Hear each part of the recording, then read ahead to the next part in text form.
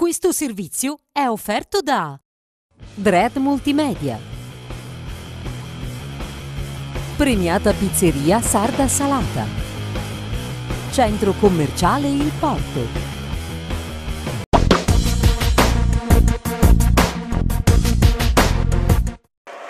Amici sportivi, buon pomeriggio dallo stadio Alfredo Giro di Torre Annunziata per la ventiquattresima giornata del campionato di Serie D. Girone I si affrontano il Licata e il Savoia, guadagnata da Greco che fa partire convitto sulla sinistra, zona convitto, convitto, punta l'uomo, entra in area, convitto, convitto tra due uomini, convitto si gira, il tiro, la parata di Coppola che si distende con Manfrea, una buona palla, serve Convitto, convitto entra in area, convitto, convitto, cerca il fondo, convitto la palla dentro a cercare Manfred. Viene dentro l'area è Gatto che forse si incarica della battuta. Vediamo il tiro di la parata di Serenari che si distende come un gol. Spazio, Sugi serve sulla destra per il tiro di Tascone, la palla stava finendo fuori ma piccata con questi fraseggi stretti e poi convitto perde la palla ma c'è Manfred, limite dell'area rigore, Manfred il tiro fuori.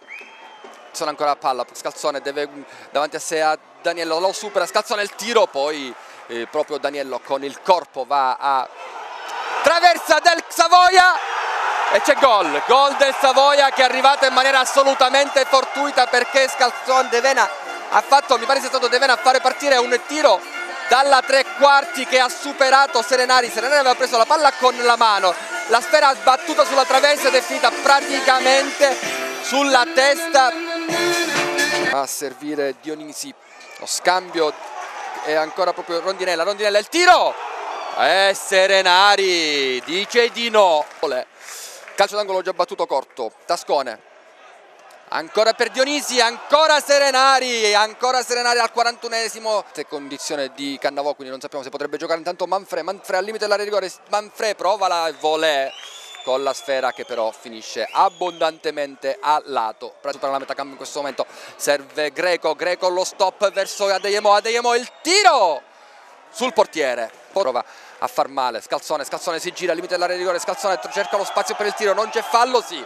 Calcio di punizione dal limite dell'area di rigore, siamo proprio sulla lunetta dell'area di rigore, direttamente in porta, palla che sarà toccata da un compagno, tiro, gol palla che praticamente è passata attraverso le gambe della barriera dell'Elicata.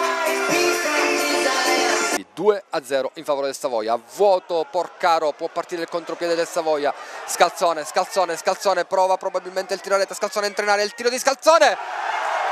E la, questa volta Serenari si fa scappare un pallone. Facile facile 3 a 0 per il Savoia. Poi si è perso chiaramente eh, tra le maglie dei bianconeri. Intanto il calcio è ancora un gol.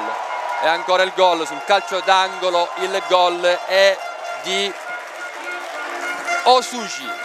Osuji che va a mettere la quarta rete per il Savoia. Lo ripetiamo al 29esimo De Vena nel primo tempo al 13esimo Gatto al 32esimo Scalzone all'85esimo Osugi finisce qui triplice fischio dell'arbitro Baldi di Roma.